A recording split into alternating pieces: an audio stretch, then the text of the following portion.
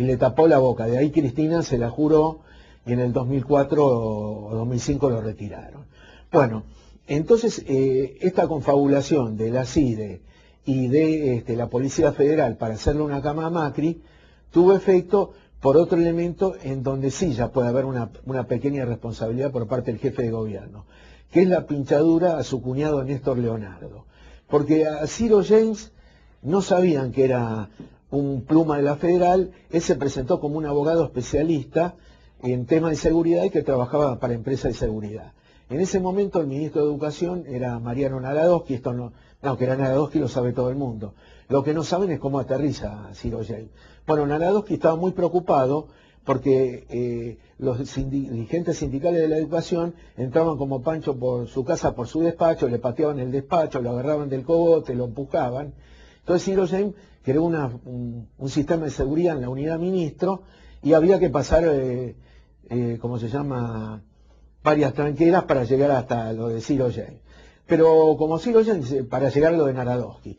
Como Ciro James es bastante simpático, decía el que quiere le pinche un teléfono, bueno, ahí en educación nadie le dio golilla.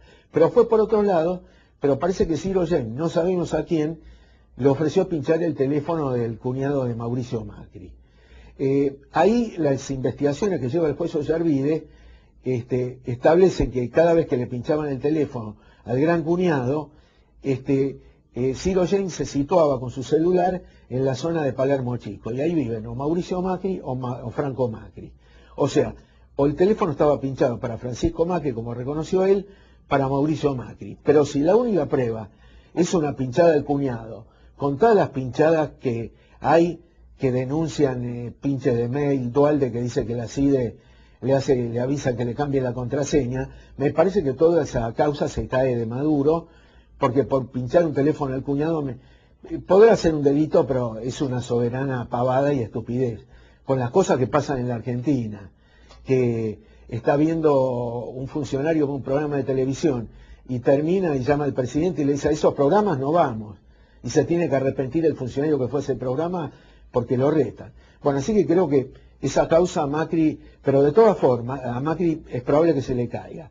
Pero tiene una gestión muy mala, porque si Macri asume con 171 escuelas sin gas y todavía tiene 51 hasta altura del campeonato, después de más de dos años de gobierno, es que la gestión es mala y en otras cosas. Yo creo que está haciendo obras faraónicas, como la del Colón, que me parece muy buena, otras obras faraónicas, que me parecen muy buenas, pero son obras públicas sobrefacturadas, porque Macri tiene un ministro de Obras Públicas, Daniel Chaín, que es un especialista en hacer obras innecesarias o necesarias, pero muy sobrefacturadas que la paga el Estado.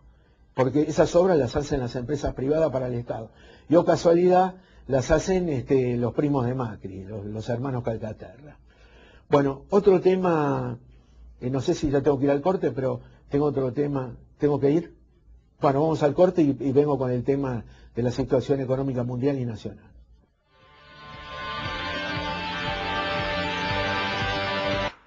Informa Municipalidad de Malvinas Argentinas con el objetivo de minimizar y valorizar los residuos, tendiendo a reservar los recursos naturales y fomentando en los vecinos del distrito una nueva cultura enfocada en el cuidado del medio ambiente, se creó en Malvinas Argentinas la planta de reciclado de residuos y energías alternativas. Ubicada en el predio municipal, la planta tiene una producción aproximada de mil toneladas mensuales de material procesado. El circuito operativo de la planta comienza con la recepción de los residuos generados por las entidades adheridas al programa, 25 barrios, 20 centros de jubilados, 35 escuelas y jardines de infantes y todas las dependencias municipales. Los residuos previamente clasificados son depositados en los contenedores que provee el municipio y luego recogidos e ingresados a la planta por el personal de la misma para su proceso. Informó Municipalidad de Malvinas Argentinas, Jesús Cariglino, Intendente. Sindicato Empleados de Comercio de San Martín. San Martín. Delegaciones en Escobar. Pilar. José Cepaz, Caseros, Hurlingham y San Miguel.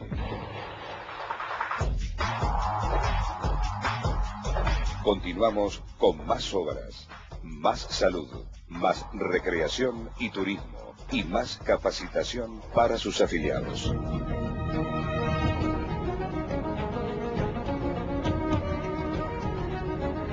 Sindicato Empleados de Comercio de San Martín.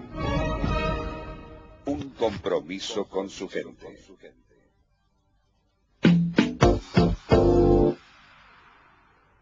Bueno, seguimos. Bueno, eh, eh, está para hablar ahora del tema de la situación económica nacional que depende mucho de la internacional. La semana pasada dijimos que el canje había fracasado por el, problema de la crisis europea y, bueno, había conseguido hasta ahora un 45% de adhesión y que lo ideal hubiera sido un 75% y que no se podía dar. Si bien el ministro Amado Boudou siempre habló del 60%, la expectativa del gobierno, como cuando anuncia la recaudación, es este, dar una cifra menor para después sorprender con, una mayor.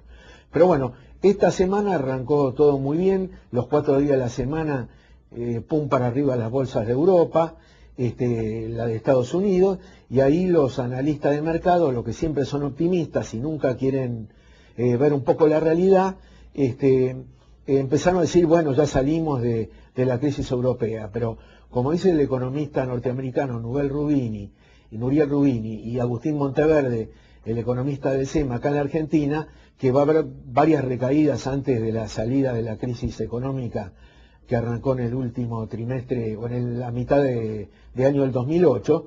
Bueno, el viernes fue un día donde eh, el mes pasado en Estados Unidos el desempleo estaba en el 9,9 y esta vez este, volvió a subir el desempleo dos décimas, eh, en realidad aumentó dos décimas, pero fue porque se está haciendo un censo en Estados Unidos y el gobierno norteamericano contrató a 300.000 personas. O sea que el dato de empleo fue negativo, se cayó este, el Dow Jones cubriendo la barrera de los 10.000 puntos, que eso es una barrera de resistencia, Además cayó mucho todas las bolsas europeas, cayeron las bolsas este, asiáticas y cayó también, ahora aparece un nuevo fenómeno, una caída muy fuerte en Hungría, que no está en el mercado común europeo, y se valió fuertemente el florín, que es la moneda húngara.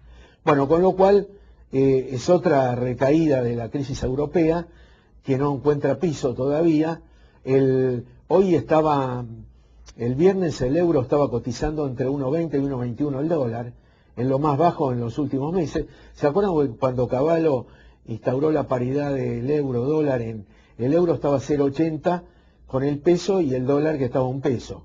Bueno, hay un economista, Guillermo Calvo, que predijo la crisis en México, que dice que el euro puede llegar a 0,80. No sé si es así, pero evidentemente Europa para salir va a tener que seguir devaluando su moneda.